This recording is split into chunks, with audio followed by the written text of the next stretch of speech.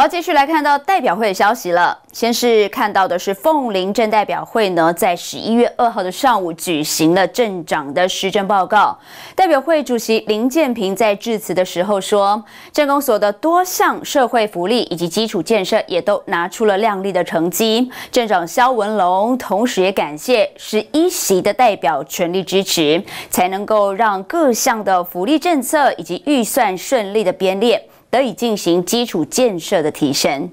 凤林镇民代表会第二十一届第六次定期会二号上午进行镇长施政报告。代表会主席林建平致辞时表示，代表会同仁的理性问政，积极监督乡公所的镇政建设，为全镇民谋福祉。今年以来啊，我们公所在既有的基础之下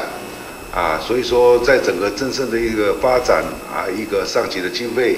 所有的硬体的建设啊。都已经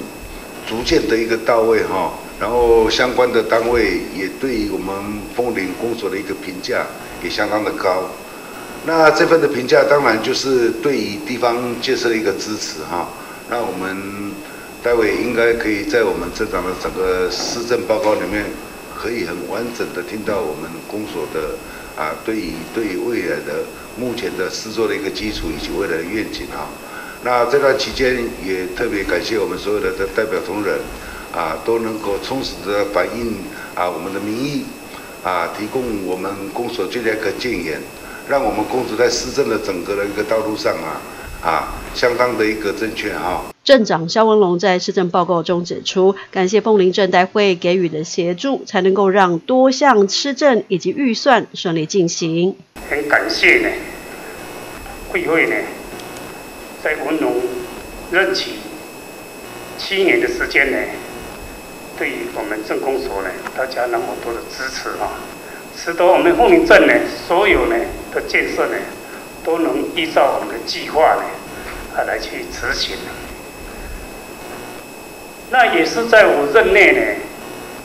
在审查预算呢，明年使用是最后一年，但是我们呢。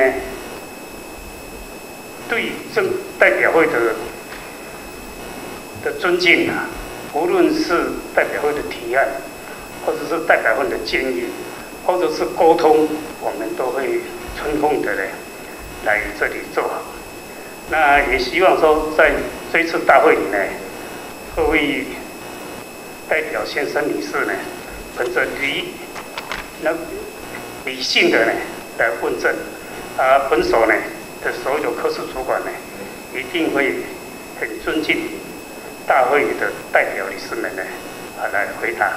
肖万龙也表示，目前时局社会弥漫着不安、焦躁气氛，而凤林镇的政务能够顺利推动，持续各项公共建设与产业经济发展、社会福利照护，承赖代表会适时监督以及鼎力支持，以及公所团队努力执行，方能够获得证明的肯定。肖万龙也深感欣慰代表会的不吝指正。记者林杰凤林镇采访报道。